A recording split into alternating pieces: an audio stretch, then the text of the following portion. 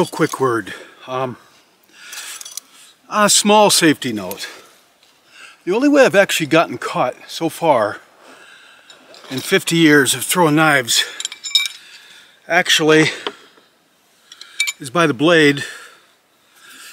If you throw multiple knives at your target with the blade held, flip throw, you know, like I teach, um, if you throw multiple knives at your target, you're going to find that quite often your knives, just like a shot group, they hit the same place if I'm aiming at the same place on the target. Like the bullseye, I'm throwing three or four knives at the bullseye. Quite often you're going to get your knives hitting your other target. You know, they'll bounce off and you say, well, that was that would have been a bullseye, but it hit my other knife. That's kind of a good thing in a way. Means you're on target. But it will nick up your blade, especially like this railroad spike knife, which is advertised as a high carbon steel. It is high carbon steel for a railroad spike, not for a knife. It's, it's railroad spikes pretty soft uh, metal, but I think they make very good throwing knives. Honestly, some of them like this with a real thick spine, as you can see. Um, so what happens is a soft steel like this will hit the back of a knife that's already stuck in the target a lot and the edge will get dinged up. And you can actually cut your hand on the burrs that are on the edge sticking out from the ding marks.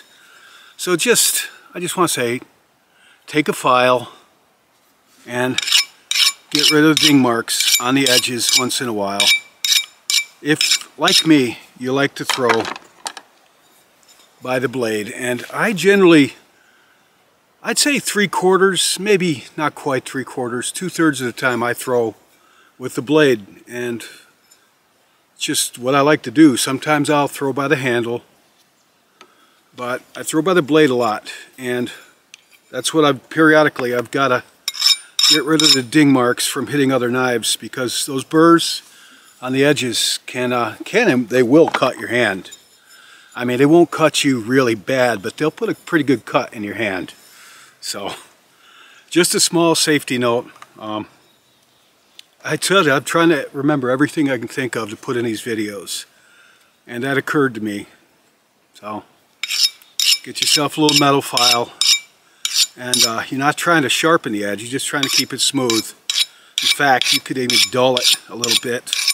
Go right on the edge and dull it out, but make it smooth so you're not catching your hand up on it when you let go of it. All right?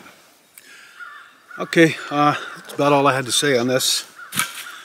I think this is about the last video for this whole course.